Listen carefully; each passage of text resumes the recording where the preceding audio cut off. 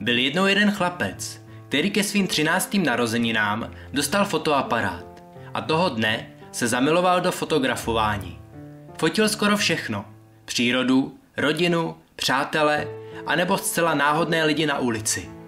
Jednoho dne, o pár let později, se úplně vyčerpaný vrátil z focení.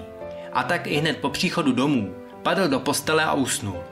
Druhý den si v počítači prohlížel nafocené fotografie a na jedné z nich spatřil dívku v pruhovaných šatech. Bohužel nevěděl, kdo to je a tak moc toužil tu dívku v pruhovaných šatech poznat osobně. Ve svém osobním zoufalství začal vylepovat její fotku po městě a ptal se lidí, jestli ji náhodou neznají.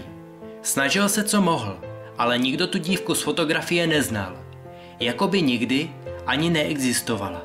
Chlapec byl po čase doslova posedlý hledáním té dívky a tak se rozhodl prodat svůj fotoaparát, aby měl peníze na další hledání. Věděl, že se zdává něčeho, co miluje, pro něco, co miluje ještě víc. Druhý den si uvědomil, že udělal chybu a chtěl svůj fotoaparát zpátky. Ale prodavač zastavárně mu sdělil, že ho již prodal a tak chlapec odešel smutně domů. Teď mohl začít hledat obě věci, které tak miloval. Svůj fotoaparát a dívku pruhovaných šatech. Uběhl týden a v sobotu brzo ráno někdo zazvonil na zvonek jeho bytu. Ještě rozespalý šel otevřít a když ještě v pyžamu otevřel vchodové dveře, spatřil tam dívku z fotek, jak drží v ruce jeho fotoaparát. Ještě jednou si promnul oči, ale dívka s fotoaparátem tam pořád stála. A tak chlapec řekl, to jsi ty? Hledal jsem tě celou věčnost.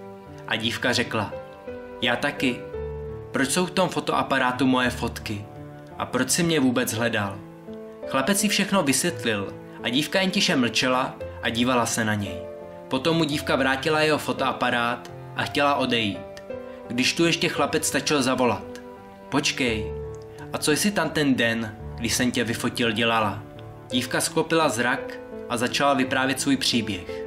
Ten den jsem byla dát květiny na hrob mé sestry, která přednedávnem zemřela při nečekaném porodu na ulici. Její smrt mě hodně zasáhla.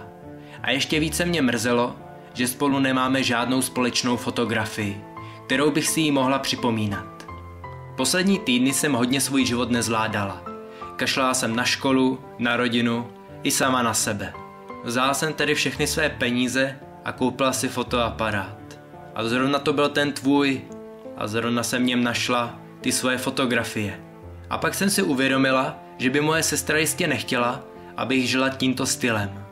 A tak jsem tady. Na osud sice nevěřím, ale fotografie nikdy nelžou. Ukazují nám jen okamžik, kterého jsme si na poprvé nemuseli všimnout. Chlapec chytil dívku za ruku a požádal jí, aby zavřela oči.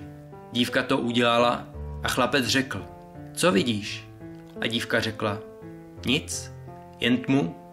Chlapec si stiskl ruce ještě pevněji a do ucha jí pošeptal, co tam vidíš? Moji sestru, jak se houpeme na zahradě na houpačce a jak si hrajeme na trávě s panenkami. Tak vidíš, řekl chlapec. Fotografie nám mohou zachytit jenom jeden určitý okamžik v našem životě. Ale vzpomínky nám zachytí celý náš život. Stačí si jen vzpomenout.